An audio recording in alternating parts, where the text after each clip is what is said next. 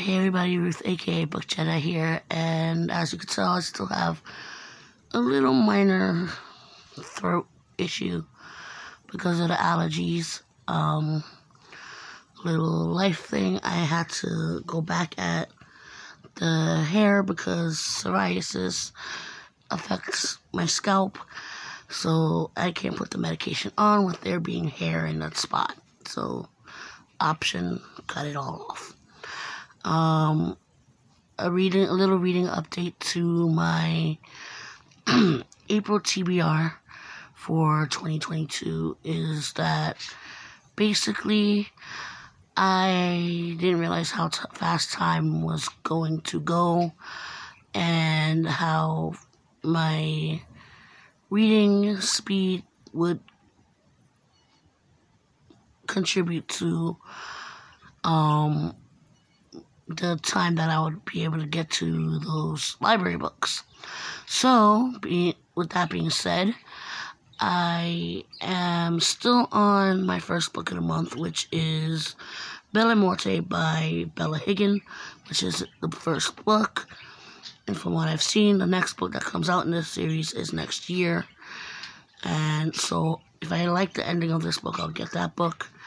Um, but as I said, right now I'm still reading this book by Bella Higgin, and I am liking it. I'm enjoying it considerably. Um, being that sometimes I end up having a, oh my god, this is, this reminds me of this, or this reminds me of that. I end up, like, putting the book down for a little bit and so forth. Uh, two other books that I'm planning on reading because of the reviews that need to be up by at least May because apparently one of them gave me a time limit. So I hope to get to those two books, which are ARCs that I received from the publisher, which is Elsewhere by Alexis Shiatakin. I'm butchering that name. I can't pronounce last names half the time. It's Elsewhere by that author which is author of Saint, Saint X, which I think came out like a year or two ago. Um, and the next book I'm hoping to get to, which is an, another arc, which comes out in July of this year. The Kingdoms of Savannah by George Daw- George Dawes Green.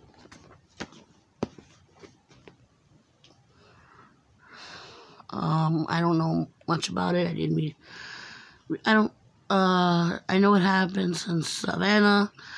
Uh, there's like two murders or a murder suicide or whatever.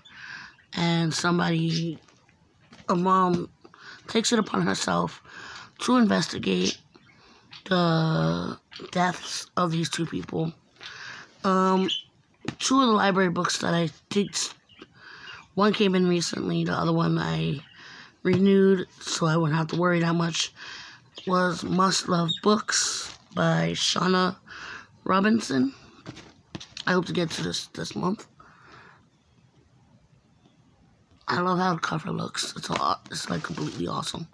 And the other book I hope to read that I've been seeing a lot of people reading right now, and I want to see what the hype's about. It's Reminders of Him by Colleen Hoover.